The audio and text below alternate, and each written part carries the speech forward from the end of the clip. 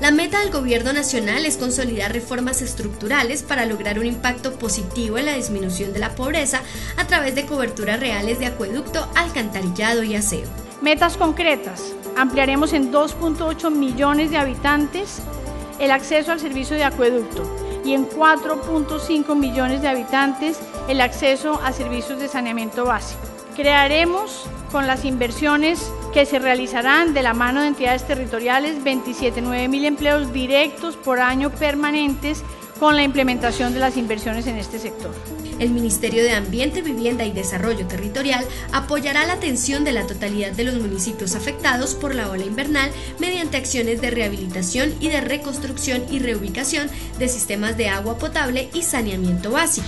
150 municipios reportados con afectaciones. Ya estamos trabajando con los departamentos con afectaciones para utilizar recursos y dirigir inversiones para rehabilitar estos sistemas. En algunas zonas del país debemos esperar a que el nivel de las aguas baje para poder hacer un verdadero inventario de los daños y adicionalmente los servicios públicos domiciliarios tendrán un subsidio adicional para familias damnificadas que cubrirá cerca de 320 mil familias y el subsidio se mantendrá por lo menos por seis meses. Finalmente se informó que dentro del Plan Departamental de Agua del Meta, de los 29 municipios del departamento, 28 se encuentran vinculados al PDA con sus respectivos acuerdos municipales. El único municipio que no se encuentra vinculado a este Plan Departamental de Agua es Castilla la Nueva.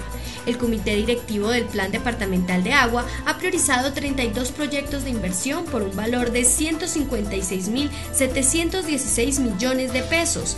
De estos 19 se han viabilizado por un valor de 136.947 millones de pesos.